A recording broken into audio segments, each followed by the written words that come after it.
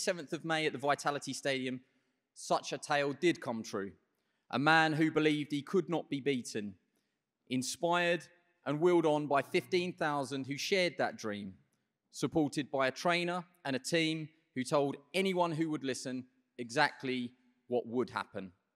But believing it, wishing it, almost isn't enough. You have to go out there and grab it. Seize your moment. Many have shared that same dream and come up short. But seize it, he did. Chris Billam-Smith achieved his dream of becoming world champion on that magical night under the stars on the South Coast. By no means a classic, I think we can all admit, but enough to win. And winning is all that matters in this brutal game. Now, he must scale Mount Everest all over again. Champions talk of the first defense being every bit as challenging as winning the belt in the first place. And now, CBS, the gentleman, must produce again. We welcome our challenger, Mateusz Masternak, back to the UK, a quality, quality operator, a 52 fight veteran with his first attempt at world honours. Dangerous, tough, ambitious, and more than capable of spoiling the early Christmas party in Bournemouth. Make no mistake, from where we are sitting, this is no soft touch first defence, no easy homecoming at the Bournemouth International Centre. This is an assignment laced with danger. Huge domestic rivalries and unifications await in 2024, but that all goes up in smoke when the winner or the loser face the reality of December the 11th. Remember, it's a Sunday. Don't let that catch anybody out. Early signs regarding tickets are record breaking. General sale goes live today. I think I'm right in saying, Ben, that they're live right now. And I suppose my message, Boxxer and Ben Shalom's message, Chris will need you once again. If you've been to the Bournemouth International Centre and you've experienced the Chris Billam-Smith fight night, you're going to want to go back. So don't wait. Make sure you get tickets. And I suppose you echo that message. Bournemouth International Centre, Bournemouth, those fans, Chris Billam-Smith's going to need them once again. Yeah, we're so excited to be going back to Bournemouth. Every time we go there, you wonder if it, if this is the last one. Um, that first fight against Isaac Chamberlain was where it really just sparked, and uh, whether it was the barbers, whether it was the local shops, whether it was the local clubs, everyone got behind across the whole south coast behind this man here, and to see it go from Isaac Chamberlain to Armend Xhoxhaj to then Lawrence Okolie at this stadium. It's been something to behold. 15,000 fans came out to see him last time. He possibly is the biggest star now in the cruiserweight division in terms of bums on seats, in terms of eyeballs, and now he gets the chance to really make his name on the global stage. It's uh, it's been an unbelievable journey. The tickets have gone even better than previous. We could have sold out in pre-sale all at once. The general sale is today. Um, but what a night it will be on December the 10th. And he faces Mateusz Masternak, who has been waiting for this moment as well and has been quietly doing going about his business since he fought Dorticos and, and lost narrowly. And this is his big moment. And so a huge night for Chris, another huge test, as you say, another mountain to climb. But what a story we've got here and a, a local boy becoming a global superstar. And that's what I believe will happen on December 10th. Let me just introduce the top table formally. We've got star trainer Shane McGuigan, of course, the champion with his belt in front of him, Chris Billam-Smith, Ben Shalom, uh, Boxxer promoter, and our visitors from Poland, Dariusz Scott, who's going to help translate, and the challenger, Mateusz Masternak. Uh, Chris, I will come to you first as champion.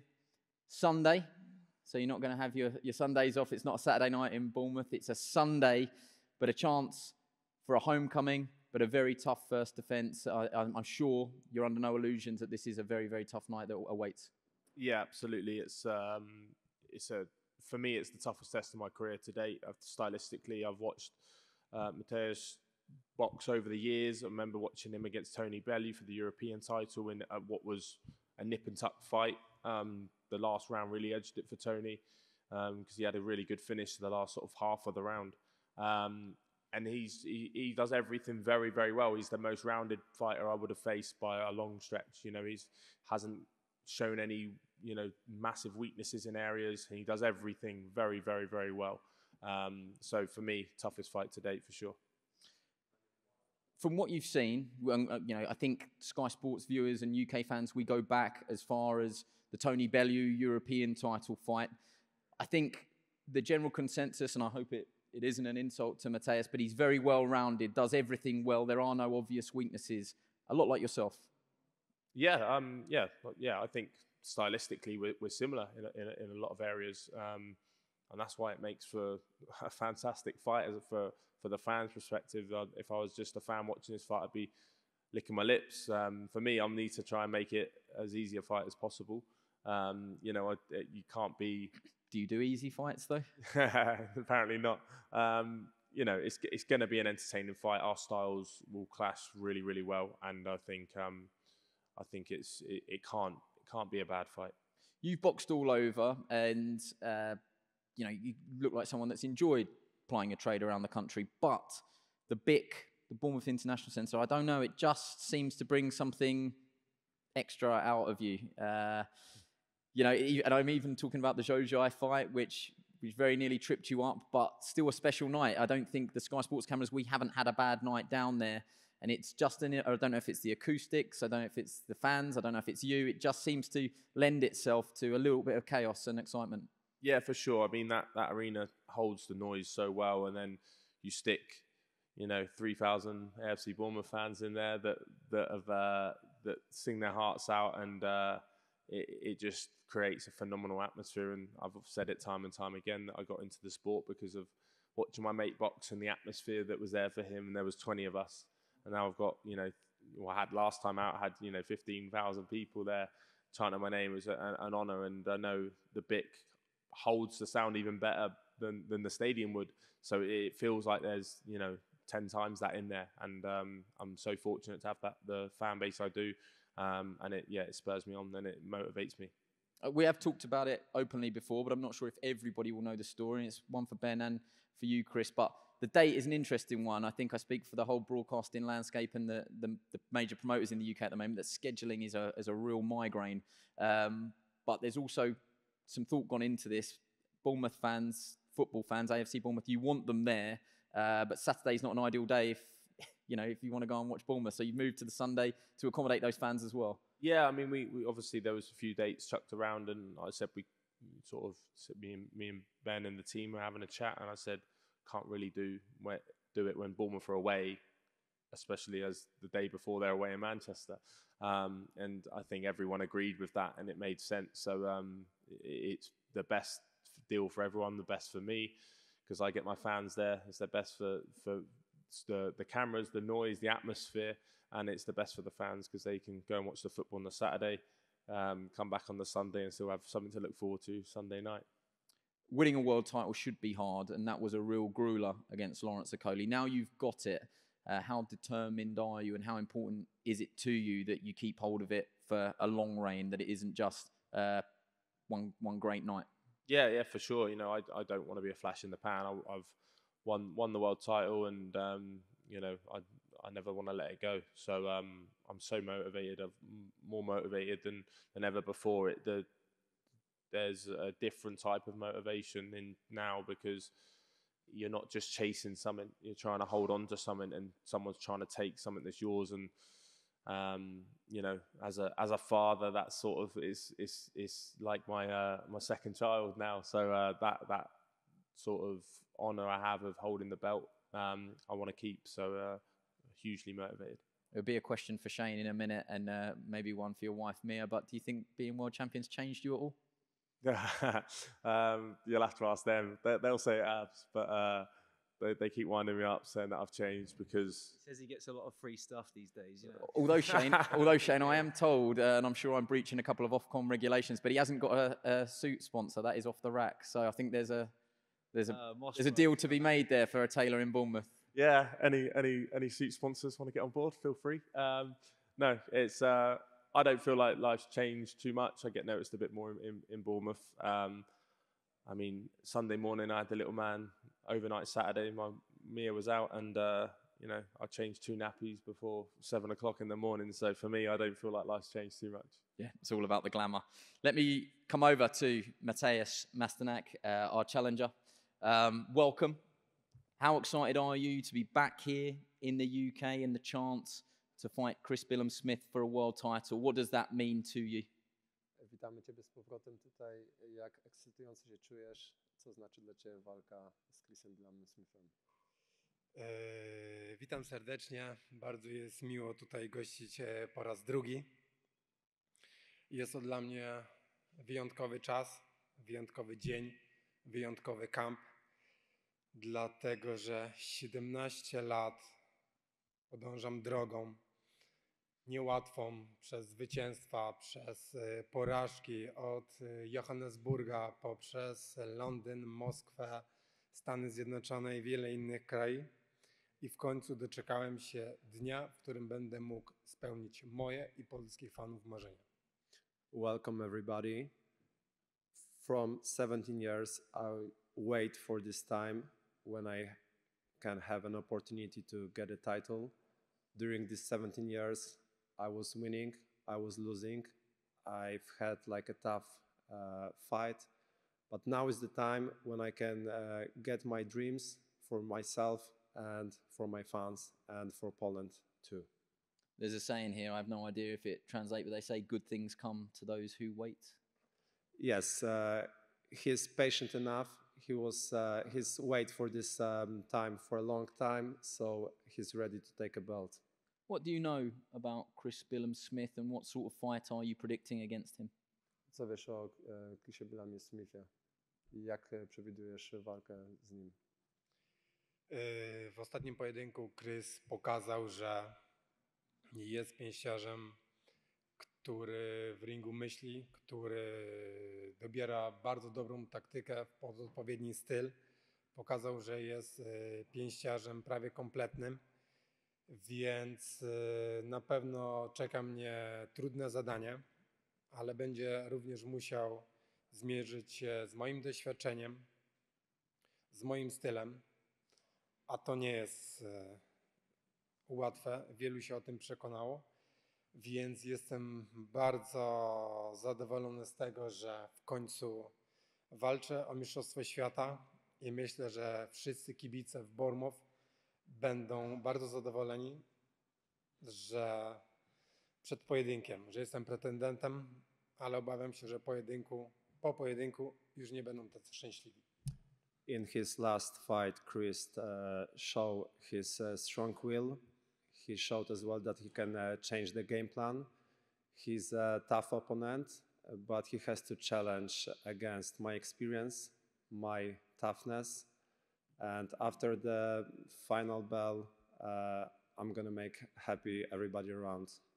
You said experience and toughness, um, but what does Mateusz, what do you think that you do better than Chris? E, doświadczenie i twardość, ale co myślisz, że, lepiej, że le- robisz lepiej niż Chris? Eee, Sam nie wiem.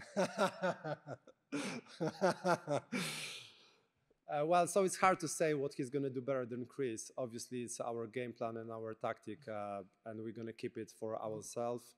Nigdy, nigdy nie myślę o tym, co ja robię lepiej od e, rywala. Zawsze staram się skupić na swoich atutach, o których e, nie chcę mówić. E, Wydaje mi się, że jestem zawodnikiem dosyć sprytnym i inteligentnym i głęboko jestem przekonany, że w tym pojedynku znajdę na Krysa sposób. I never think what I can do better than my opponent. Uh, I always uh, concentrate on myself. And I think in this uh, fight, I'm to find a way just to prove it. Are you expecting a hostile crowd? Do you welcome a hostile crowd? E, Czy spodziewasz się e, swoich kibiców na tym e, pojedynku? Tak, dostałem już e, wiele, wiele print screenów, że, że właśnie mają bilety i, i, i, i, i, i będą mnie dopingować. Dostałem też wiadomość, że w tamtych okolicach jest około 15 tysięcy polskiej Polonii, więc e, na pewno będzie trochę też kibiców z Polski. Natomiast e, wiadomo, że to będzie mniejszość na sali, bo jednak walka jest na ziemi mistrza.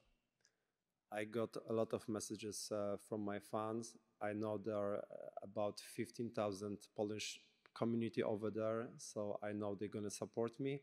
I know as well that I'm gonna fight on the Chris Billam Smith territory, so I expect uh, like a big crowd behind him, but uh, I'm ready for it. Okay, for now, thank you. Let's bring in Shane McGuigan. I think um, the message through all of this has been if you were coming here today to expect tables and chairs and trash talking, you're probably not going to get it from two very well rounded seasoned pros. And I'll repeat what I said at the start. I think those in the trade recognize this as a real tough, hard, um, dangerous first defence against Mateusz Masternak. How highly do you rate him?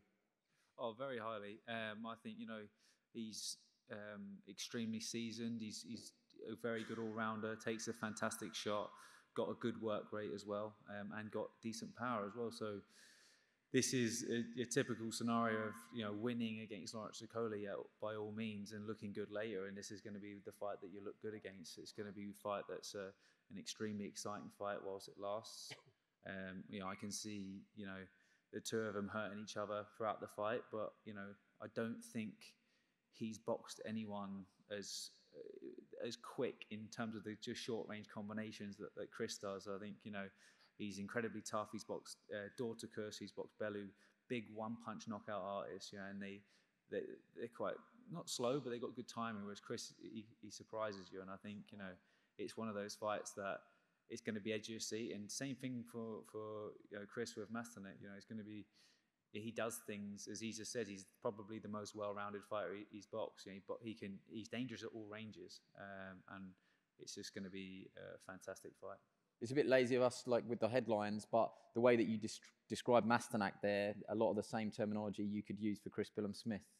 Oh, definitely. Yeah, I mean, like, you know, they, they, they, they both probably rely on their toughness a little bit too much, but for for the viewers, you're in for a treat.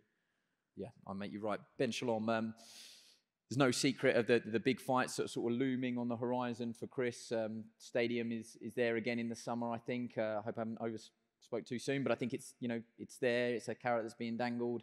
Um, you've got the Okolie rematch. We know that Richard Riakporhe is also sort of lurking. Um, all of that goes away. Yeah, it's difficult because we saw what happened on Saturday, um, and you can't overlook anyone, but particularly a guy as experienced as Mateusz Masternak. I think this is as tough a fight as Lawrence Okolie, as tough a fight as Richard Riakporhe, and uh, just all I would say is for anyone who hasn't experienced a night in Bournemouth. That night at the Brit at the Bournemouth International Centre, it's one of the best experiences in British boxing. And this is a 50 fight, 50-50 fight, and this is a fight that Chris Billam Smith's going to have to put everything into. It's going to be a huge night on December the 10th. I don't want to look beyond it. I think it would be stupid for Chris to look beyond it. Masternak is certainly not looking beyond it. This is his night. He 100%. I speak to his promoters a fair bit at KO Promotions. This is their moment. For them, this is their night. This is the night that they feel they're going to become a world champion. Anything beyond this is a bonus. This is a, this is a true 50-50, and obviously, fingers crossed, Chris Billam Smith will come through, but he's going to have to be at his very, very, very best. And without alienating other fan bases, have you got a little bit of a soft spot on Boxxer a bit of a soft spot for that Bournemouth crowd? Because I think when you decided to take Boxxer down there on the beach and Sky Sports cameras, I don't know if truly everyone, Chris, you're looking at me like you want to kill me, like you probably did believe it. Yeah. But did you think it would lead to this? You know, another sold out night against Xhoxhaj, a sold out stadium, um, back again for a first defence. It's kind of lent itself to the Boxxer banner a little bit. I think so. I, I don't think there's another sport like boxing that can take a local town or a local city the way it does and just bring everyone together. That's what it's done in Bournemouth. It literally has put it on the map. Chris Billam Smith is the poster boy of the town now. Everyone comes out every time he goes there. To be going back a fourth time is is pretty incredible. I hope we can go back more. I hope we go back to the stadium in May again. But yeah, of course, this is a it's been a special journey. Hopefully, one that will continue for many more years, but not looking beyond December the 10th. Okay, well, we can wrap this up, but I will encourage both fighters to address each other. I don't know if this is going to work with the language barrier, but Chris, have you got a, a final message for Mateusz? No, I I, I, res- I respect you. Um, thank you for, for taking the fight. I know it's a huge opportunity, and um, all the best in training camp. I'll let you relay that. Nie ma dla Ciebie żadnej wiadomości, życzę po prostu powodzenia. Czy masz jakąś wiadomość dla niego? And do you have a, a message for Chris? To jest trudne pytanie. It's a tough question. it's a tough one, guys. Okay. Boks, e, boks jest bardzo trudnym sportem. Wielu, wielu wielkich wojowników e, poświęciło życie i zdrowie, więc e, życzę sobie i Krysowi, żeby ten pojedynek był very, very special. Natomiast żebyśmy kolejnego dnia mogli patrzeć na swoje rodziny i cieszyć się życiem. I think boxing is a tough sport. A lot of fighters sacrifices um, uh, their life um, for this sport. I wish Chris uh, just we could uh, have a happy time with our families after the, the fight. Yeah, very good message. Okay, we're to pause now for head to heads. If everyone just stays down at the front and you can all get a chance to get your head to head, we're going to be in front there. And remember, if you want your tickets, go online because they're going to go quickly. But we'll break now and one on ones will be available afterwards with everyone.